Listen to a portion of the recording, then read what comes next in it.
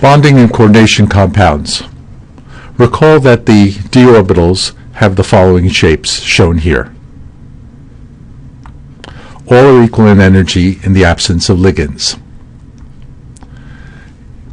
In an isolated transition metal atom, the 5d orbitals are degenerate in energy. They have the same energy.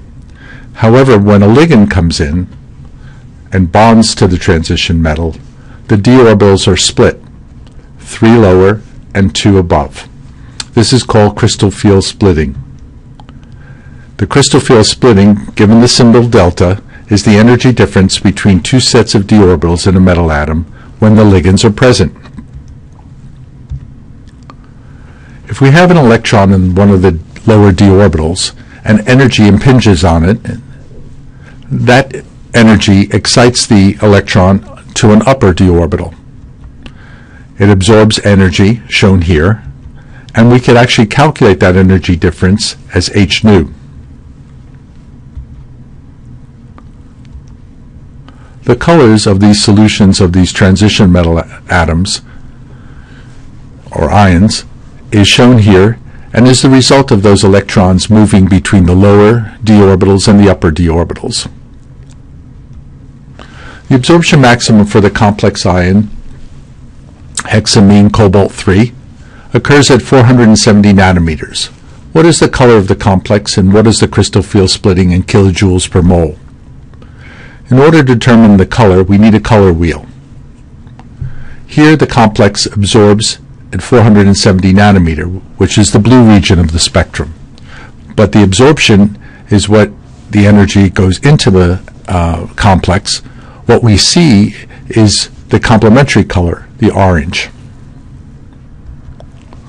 Delta again is equal to h nu, or hc over lambda, substituting in Planck's constant, the speed of light, and changing the 470 nanometers to meters, we calculate an energy of 4.23 times 10 to the minus 19th joules.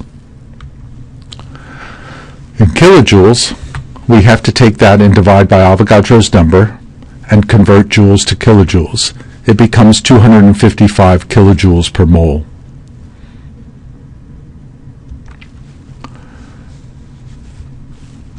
Again, looking at the bonding and coordination compounds, there arises from these ligands what is called a spectrochemical series.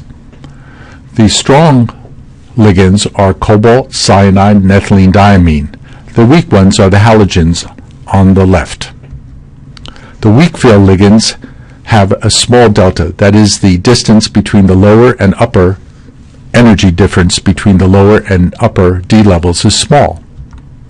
With strong field ligands, the energy difference is large. Effectively, this is what happens. Shown here is the iron 3 plus ion, and then the iron with six fluorines and that forms a high spin complex.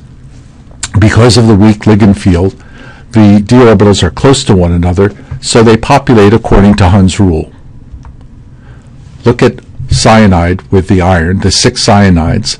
This is a strong ligand field, big difference between the lower and upper D levels, and we violate Hund's rule. That is, we put the electrons in the lower ones first, and then force to the upper ones. These are the orbital diagrams for high spin, high spin and low spin octahedral complexes. This diagram shows the crystal field splitting in a tetrahedral complex. Notice that it's the opposite of the octahedral. Crystal field splitting in a square planar complex is even more com complex.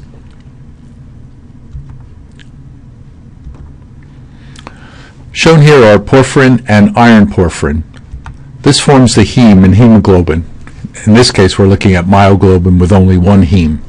Notice that the iron is hexacoordinated to the protein, to four nitrogens, and to the water molecule. This is how oxygen is transported in the body. Cisplatin is also an interesting transition metal complex. It's an anti-cancer drug. It works by attaching to the DNA causing the unraveling of the DNA and the inability of it to reproduce. stopping the growth of the cancer cells.